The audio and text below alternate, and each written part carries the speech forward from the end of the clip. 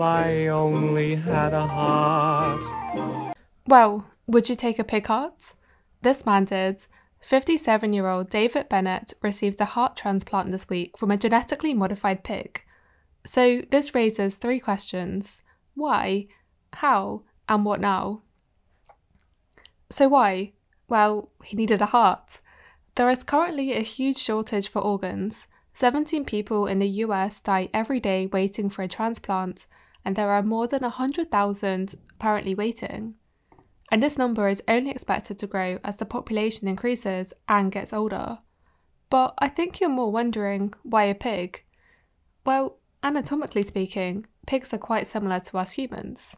Their hearts are a similar size to our own. And the fancy term for having an organ from a different species, in this case a pig, is xenotransplantation. There's sort of just one major thing that hinders this process.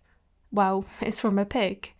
And similarly to how our bodies mount an immune response to pathogens when we get sick, pigs have molecular differences which make them incompatible to humans.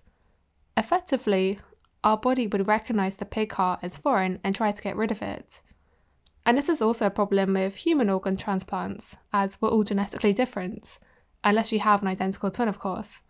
And so many patients who've had organ transplants take immunosuppressants for the remainder of their life.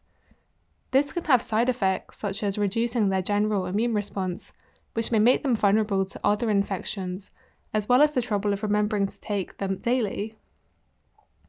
But there are far more differences between pigs and humans than between humans. So, how was this pig heart transplant possible? Well, the pig from which the heart came from was genetically modified, and this technology was developed by the company Revivicor, although they're not actually the only company attempting to do similar changes with pig organs to make them human compatible. But their approach involved making 10 genetic changes. So, what were they? Well, firstly, what they needed to do was to remove any molecular incompatibilities on the pig cells. And to do that, they had to silence three different genes that encode enzymes that can add these different sugars to the surface of pig cells that are recognized by the human immune response. But besides silencing these genes, they also added human genes to the pigs two anti inflammatory genes, two genes that promote normal blood coagulation and prevent blood vessel damage, and two other regulatory proteins that help dampen down antibody response. And a final modification removed the gene for a growth hormone receptor to reduce the chance that a pig organ will outgrow once it's implanted. And this builds upon a paper that came out last year where they showed that this modification reduced the growth of pig hearts transplanted into baboons. And so hopefully this will also translate in the case with David. And so once they've made these genetic changes to pig cells using gene editing, they can then use a process known as nuclear transfer to eventually generate genetically engineered pigs. And if that wasn't enough, David's also been given an experimental drug, KPL 404, that is an antibody drug that reduces the activity of some of his immune cells so an antibody immunosuppressant. So, what now? Well, now I feel like we need to address the elephant in the room, well, in this case, pig, the ethical issues. For David, this approach was a last hope of saving his life. It was either die or do this transplant.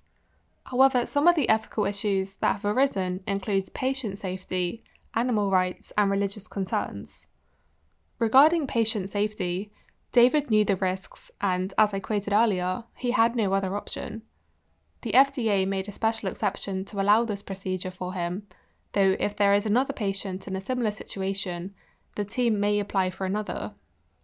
FDA approval for a human clinical trial will only come pending promising data from the use of pig hearts in baboons, which uh, brings me on to the next concern animal rights. One organisation People for the Ethical Treatment of Animals has condemned Mr. Bennett's pig heart transplant as unethical, dangerous, and a tremendous waste of resources. Animals aren't toolsheds to be raided, but complex, intelligent beings. Now, it's me, so I didn't want to end the story there. What alternative future strategies could we see employed to overcome some of these ethical considerations? Well, an obvious one to improve safety would be to have organs from our own bodies, as this would prevent rejection. It would use a combination of cellular reprogramming and stem cells. We looked last year at some mouse work showing in vivo reprogramming to improve heart health in mice, and so human application will surely at some point be developed. And alternatively to that, some companies are developing mechanical organs, so a mechanical heart, though this may raise more ethical considerations if it turns out mechanical organs enhance performance over organs we currently have. So we can't ignore the ethical issues, but that doesn't mean that this advance isn't exciting. And as the CEO of Revivicor says, this is not a one off. We're going to take this all the way through to human clinical trials and hopefully have an unlimited supply of donor organs. And as I mentioned earlier, Revivicor are not the only company doing this, eGenesis is also investigating xenotransplantation. But until they release further information, I can't comment on how it differs to Revivicor, but ultimately the ethical concerns are going to remain the same. So anyway, I hope you've learned something in this video. Thank you to my Patreon supporters, and thank you for listening.